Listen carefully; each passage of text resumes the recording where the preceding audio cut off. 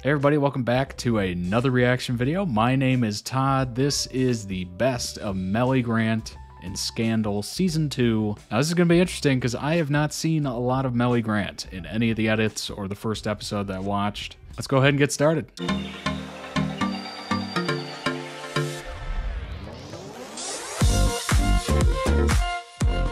You're the first lady. Your job is to plant gardens and decorate rooms and let them blog about your clothes. You're ornamental, not functional.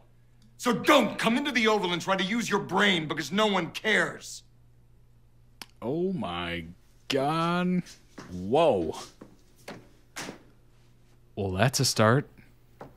Holy cow. You always did know just the right way to hurt me. I am talking about Olivia Pope. You took her hunting? Really, honey? She could be facing federal prison, but you needed to spend a few minutes with your girlfriend. Prison? That's. It's sweet. If it didn't mean the end of your political career, because you won't make it to a second term, I will make sure of it. Because I need to make some plans for my political future. And I do have a bright, bright political future. The sweet lawyer who gave up her career for her husband, suffered a miscarriage, then had a late in life baby while first lady. That's gold. That's a future president. That's a hell of a second act, and America loves a second act. Mellie. Get over her. Mellie. Get over her! Oh my god. You see her again, I'll blow you away. And I'm an excellent shot, remember. Sakes, Mellie, everything is not a political move. Um Honey, you are not some toothless mechanic from Indiana, and I am not some chunky girl from a trade. how does the Secret Service feel about about that threat? hmm.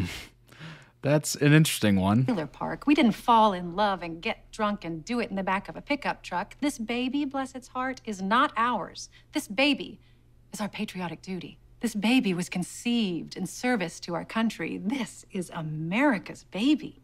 And Kimberly Mitchell is coming to watch us find out whether it's a boy or a girl because you are the leader of the free world. You couldn't keep your pants zipped and your hands to yourself. This baby is my way of giving you a little political bang for your buck. So tell me, do you like the red or do you like the yellow? Fitzgerald. There are nine other bedrooms in this place besides our room and this nursery. You are sweating up the baby's sofa. I will have to have it cleaned. If I sleep in one of the other bedrooms, the staff will know. So then they'll know. Mellie, if the staff knows, then the press will know in under 24 hours. Good for them. Really? You're fine with the press knowing that we don't sleep in the same bed? Tell the press that pregnancy is making me toss and turn, so you're sleeping in another bed so that I can be more comfortable. Tell them that you have been staying up late in bed, trying to come up with new ways to keep America safe and democratic and free, and you don't want to disturb my pretty little head with all that thinking. Or tell them that I don't want to spend my night sleeping next to a man who gets erections in his sleep, dreaming of Olivia Pope. Your choice. I don't care. Relax, I'm kidding. Oh my god. What happened to my husband? Oh wow. Who did he talk to? What put Fitz in such a terrible mood? Because when he left me to go hunting, he was smiling. I'm not gonna lie, that was amazing. and when he came home, he wasn't. I'm sure we don't know, ma'am. You can't say. I understand. So I am just going to say some things. And when I am correct, I'd like one of you to blink. That's all. Just flutter your eyelashes for a girl. Ma'am. The president of France, East Sudan, Hollis Doyle, that guy on Fox News, his mother, Cyrus, Olivia Pope. Oh, I have something of yours. The Secret Service found it. You know how, right? He's on POTUS detail. He found it the night I have something of yours. I thought she was gonna take off her wedding ring. the president went to the National Archives to view the Constitution, which surprised me because if he'd gone to the National Archives to view the original Constitution of the United States, he would have invited his wife. But Hal said you were there. So, Lily, I, I, we all want the same thing. You Oh my god. and me, Cyrus, we are a team. We got him in the White House, and we are going to keep him here. We are doing our patriotic duty, serving our country, working for the greater good. We just go about it differently, I suppose. Like, It's like you didn't know him at all. Right. Yes. God, that was awkward.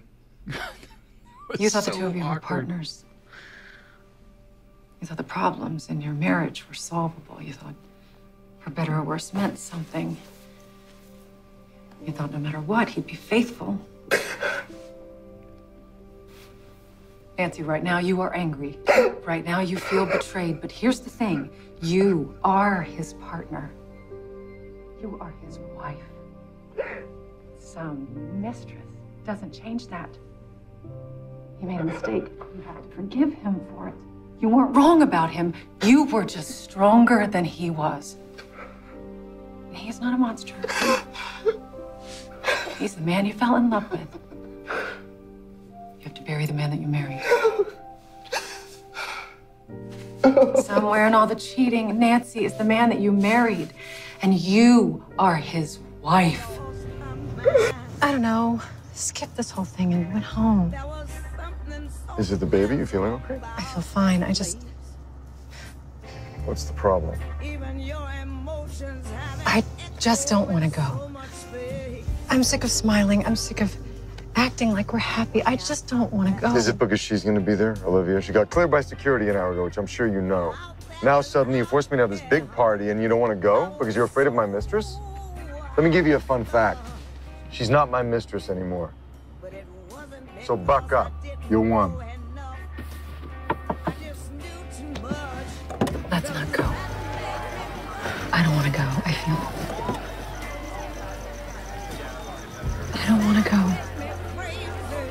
We can't always get what we want, can we?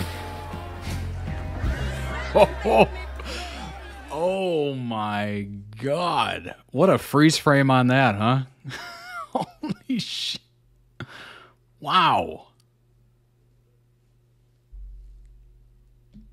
You know, I know where this show had such high ratings. It is jam packed full of those moments, I'm assuming. Link down below in the description for the original video. Go throw it some love. Holy hell, what a nightmare. I can't imagine being in her situation and being tied to someone that you just does things that you just despise. You fall out of love, you hate them, you resent them. They make crazy comments to you about their mistress. Holy crap. Not gonna lie, I don't know how I would deal with that. Would I break up the marriage to leave? while my spouse was president.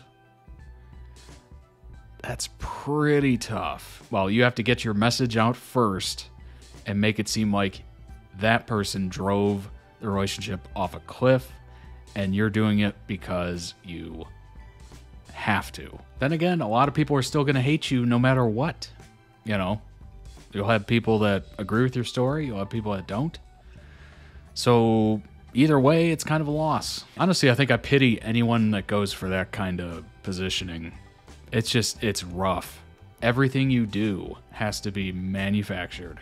Everything you say, everything you stand in front of, stand next to, who you shake hands with, literally everything is under a microscope. You got people leaking stories about you from your staff, your family, your long lost friends, whatever. Literally everybody is looking for an angle on you and to make money and headlines and press and a Pulitzer and whatever. Literally would not wish that on my worst enemy, which I don't have any enemies, so the saying is kind of moot, but uh, yeah. Sentiments there, though. Let me know your thoughts on Fitz and Mellie down below in the comments. What a terrible situation to be in and to have to see them all the time.